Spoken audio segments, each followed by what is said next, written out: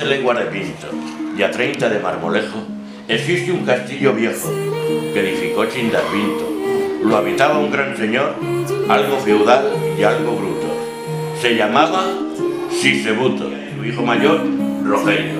Y era una noche de invierno, noche cruda y tenebrosa, noche fría, espantosa, noche helada, noche triste, noche oscura, noche llena de amargura. Y en un gótico salón dormitaba Sisebuto. Y un lebrel seco y enjuto roncaba en el portalón. Con quejido lastimero el viento fuera silbaba e imponente se escuchaba el ruido del aguacero. Cabalgando en un corcel color verde botella. Jamás he visto un caballo con una color tan bella. Mas olvidemos el momento y sigamos con el cuento. Sí, eh, raudo como una centella llega al castillo un doncel y empapada trae la ropa por efecto de las aguas. Como no lleva paraguas, viene el pobre hecho una sopa. Salta el foso, llega al muro, la boterna está cerrada. Me ha dado hijos mi amada, exclama, vaya muro. De pronto, algo que resbala siente sobre su cabeza, estira el brazo y tropieza con la cuerda de una escala.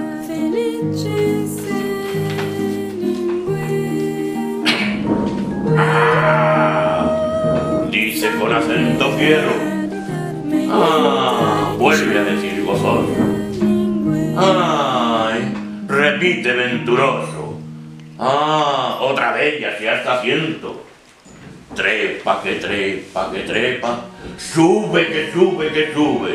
En los brazos cae de un querube, la hija del conde, la Pepa. El lujoso camerín introduce a su adorado y al notar que está mojado, lo seca bien con serrín. Lizardo, mi bien, mi anhelo, el de los cabellos de oro, el ser aliciadoro, el de la nariz de cielo. ¿Qué sientes, di dueño mío? ¿No sientes nada, Lizardo amado? Y él responde, siento frío. Frío has dicho, eso me espanta. Frío has dicho, eso me inquieta. No llevarás camiseta, ¿verdad? Pues toma esta manta. Y va y le da una servilleta. Y ahora hablemos de nuestro amor, que nuestras almas díscolas. Yo me adoro, te adoro como una loca. Yo te amo como, te adoro como un niño. Mi pasión raya en la locura. La mía es un arrebato. Si no me quieres, me mato. Si me olvidas, me hago cura. Cura tú, por Dios bendito. No repitas esa frase en jamás de los jamases, pues estaría bonito. Hija, soy de ese tributo desde mi más tierna infancia, y aunque mi padre es muy bruto, y aunque es mucha mi arrogancia, aunque temo sus furores, huyamos, vayamos al Congo, a ocultar nuestros amores. Bien dicho, bien hablado, huyamos, aunque se enoje, y si algún día nos cogen, que nos quiten lo bailado. Oye, en esto un ronco, en esto un ronco ladrido retumba potente y fiero. Oye, dice el caballero, es el perro que me ha olido. Se abre una puerta excusada. Y cuál terrible huracán entra un perro, luego un... Ah, entra un hombre, luego un perro, luego nadie, luego nada. Hija infame, ruja el conde, ¿qué haces con ese señor? ¿Dónde has dejado mi honor? ¿Dónde? ¿Dónde? ¿Dónde? Y tú, cobarde villano.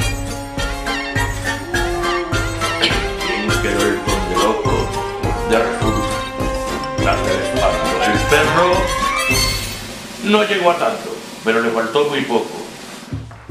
Y desde aquella noche de horror, nada se ha vuelto a saber del conde y de su mujer, la llamada Leonor, de Cunegunda, su hermana, de su madre Berenguela, de la prima de su abuela que atendía por Mariana, de su cuñado Vitelio, de su atra su tía, de su nieta Rosalía, de su chico mayor Rogelio. Y aquí estaba la leyenda verídica, interesante, romántica, fulminante, estremecedora, horrenda, de aquel castillo viejo entenebrece el recinto a 15 leguas de Pinto y a 30 de Marmolejo.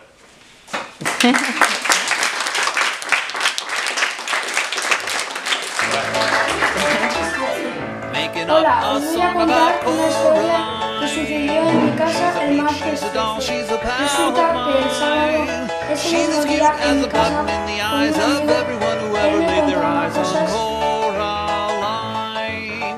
sobre el martes 13, pero yo no le creí. Me decía que el martes 13 aparecían fantasmas de los seres más queridos de la persona. Yo le dije que no le creía nada, pero sucedió. Cayó la noche y empecé a escuchar una voz de una persona llorando. Le cayó... No. Le dije a mi amigo, no me vas a engañar con ese truco. Luego me di, me di la vuelta. Él hacía... Hacía él y hacia él y vi que estaba como si nada pasara. Entonces centré más en lo que pasaba. Luego escuché un ladrido de perro atrás mío, que debajo de... debajo de... me dejó paralizado. Al- el ladrido era muy similar al de un perro que tenía que había muerto ya viejo. Entonces le dije a mi amigo, vámonos de aquí. Luego mi amigo se fue a su casa y yo me fui a mi, a mi cuarto. Me senté en mi cama y empecé a pensar en la voz de la mujer que lloraba. Luego de unos minutos me di cuenta de que esa voz llorando se, se parecía a la misma voz de mi abuela cuando le internaron y al día siguiente murió. Entonces me acosté y empecé, y empecé a llorar. Mi padre me pregunta qué, qué era lo que sucedía y le dije, escuché a la abuela llorar. Entonces me dijo, ella no quería ir de nosotros. A ver, a ver, a ver. Pero despacio que no tenemos prisa. Era un caluroso día de verano y James Johnson, director del colegio Smith High, iba caminando hacia el trabajo.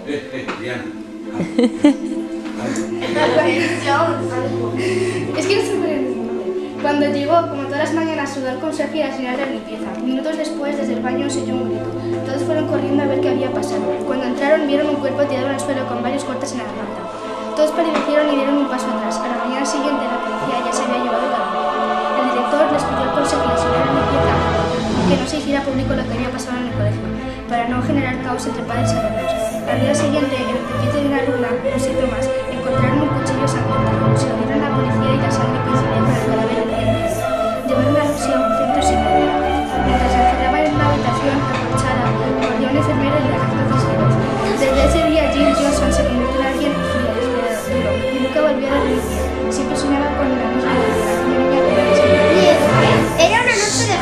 y Juan, Iker y Mario se estaban preparando para salir a por chuches. Entonces, de repente, una mano verde y viscosa atravesó la pared. Zo- un zombie entró. Acto seguido, un vampiro entró por la puerta y entre dos,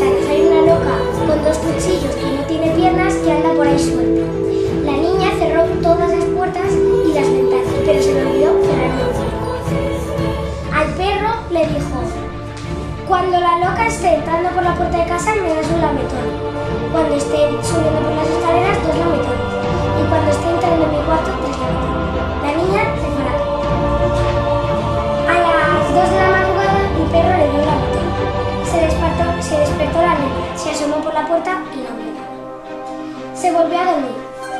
Pasado un rato, el perro le dio dos lametones. Se levantó, se asomó y tampoco. Pasado otro rato, el perro ya le dio el tercer lametón. En ese momento la niña estaba asustada, entonces se metió entre la sala.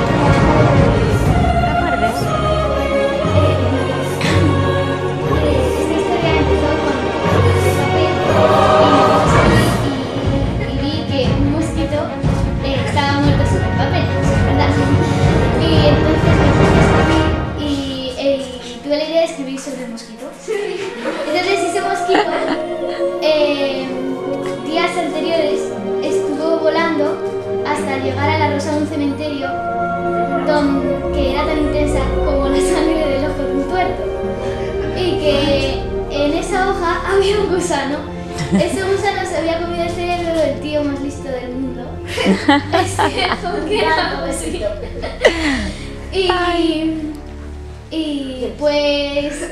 eh, eh, No, de, no, Vélez no, de Vélez, Vélez Málaga. Ay, yo no sé, no sé, yo... Vélez Málaga. Pues es un pueblo que existe, ¿vale? Se llama Vélez Málaga. Está en Andalucía. Y es un pueblo, eh, pueblo, pero en esa casa en la que vive gente, ¿eh? Luego, si queréis, cuando lleguéis a casa, lo comprobáis en internet, que no me lo estoy inventando.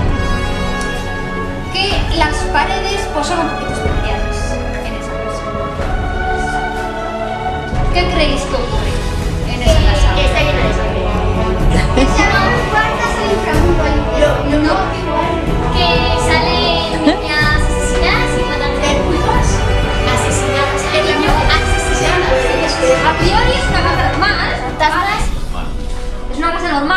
Dormiría en esa casa, ¿vale? Pero en las paredes de la casa salen unas manchas que no son manchas, en realidad son caras, ¿vale? Unas caras que se ven además perfectas. Luego en Google ponéis caras de Vélez y os van a salir. Entonces, la primera, primera vez que salieron, pues bueno, pues son unas humedades. Pues lo pintamos. Y pintaron las paredes.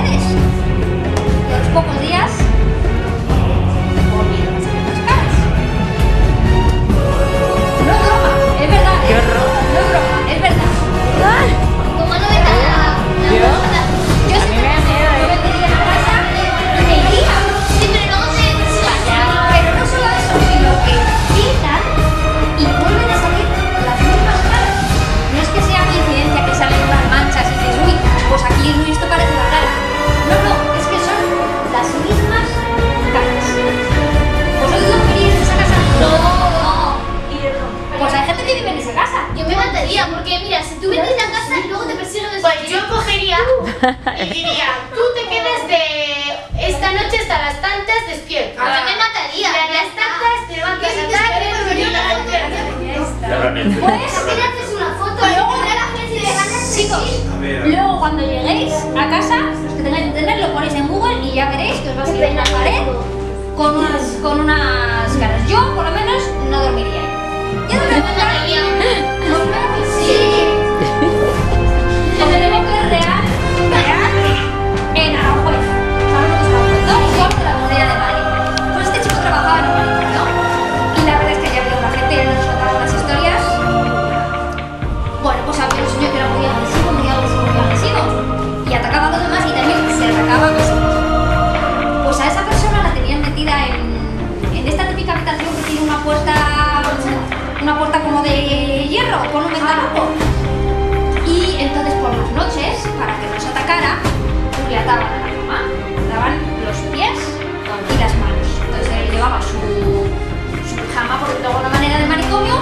la mujer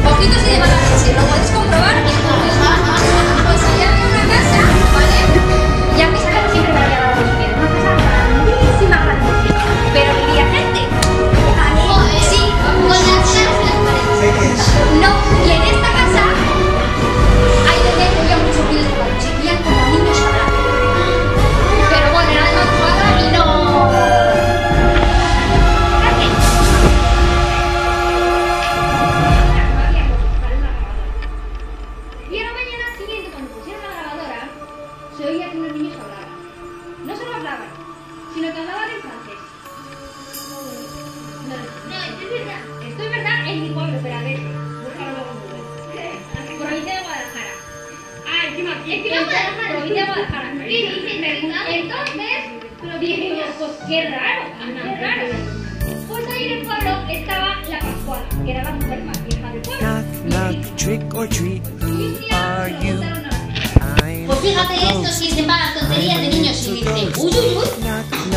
Que allí, hace muchísimos años, en el siglo pasado, cuando vinieron los franceses, que los Napoleón, dice, ahí estuvieron viviendo unas familias francesas. Se acordaba la señora que se lo había contado allá, su padre y su abuelo. Mucho, no estaba muy atrás en el tiempo.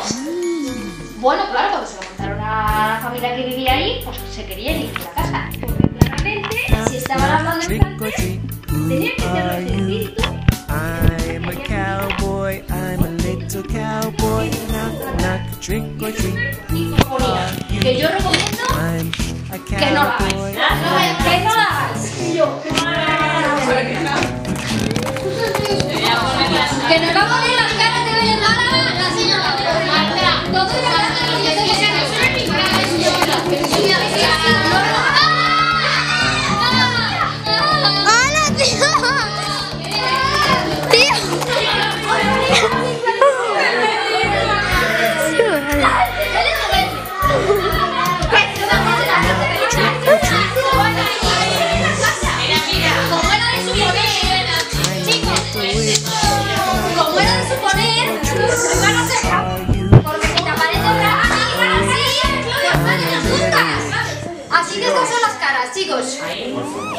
Las caras de Belén. Y como bien dice el abuelo Dacier, esa señora, las niñas de la casa, aparte de no irse de la casa, hay mucha gente que va a la, la casa, como, de, como si fuera un museo, por decirlo de alguna manera, para ver las cosas sus propios ojos. Y las señoras cobran dinerillo. A cobran dinerillo.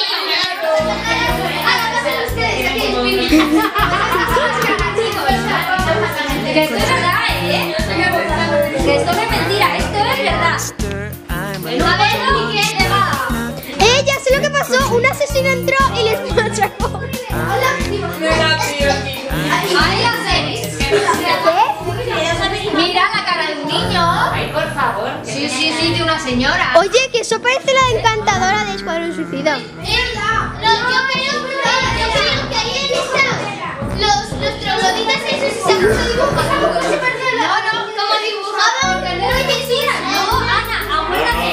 Que pintaban la pared de blanco para las caras y las caras volvían a salir. Explica. I'm a ballerina. ¿Dónde están los colores? algo. Esos son los, esos son los dueños. Los dueños. Y salían normalmente en el fogón. En, en- en la lumbre. ¡Qué mal rollo! Oye, eso da mal rollo, ¿eh?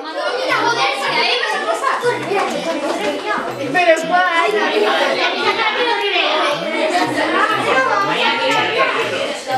Están ahí. Ahora pon la, pon la de la prueba. No, no, el polo no, eh.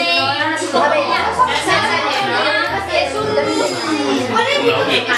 Algo así como es como un audio. Pues pon YouTube Bueno, sí,